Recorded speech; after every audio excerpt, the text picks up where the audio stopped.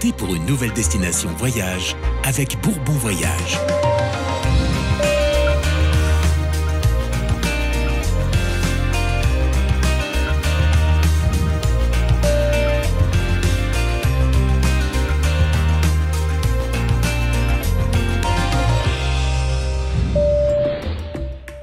Aujourd'hui, Destination Voyage nous transporte dans le sud de l'île Maurice pour différentes découvertes culinaires.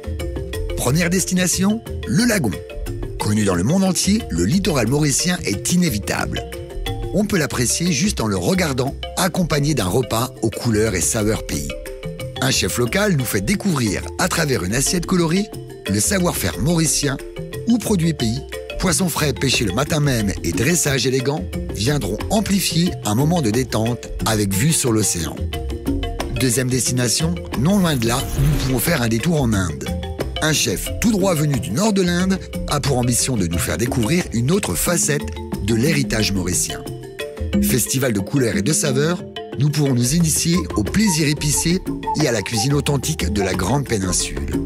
Les tables dressées de cuivre et les plats servis dans des plateaux d'argent nous immerge dans les traditions indiennes.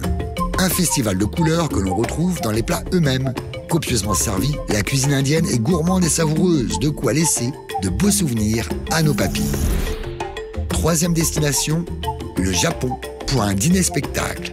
Un chef mauricien formé au pays du soleil levant fait danser sous nos yeux impressionnés les ingrédients tels un chorégraphe.